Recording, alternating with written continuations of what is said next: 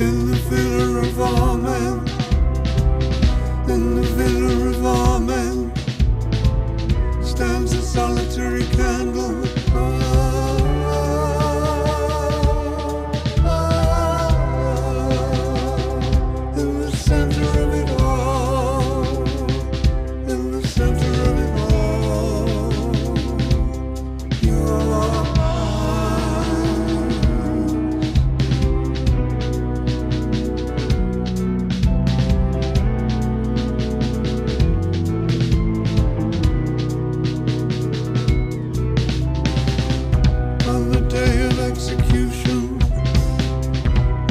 came.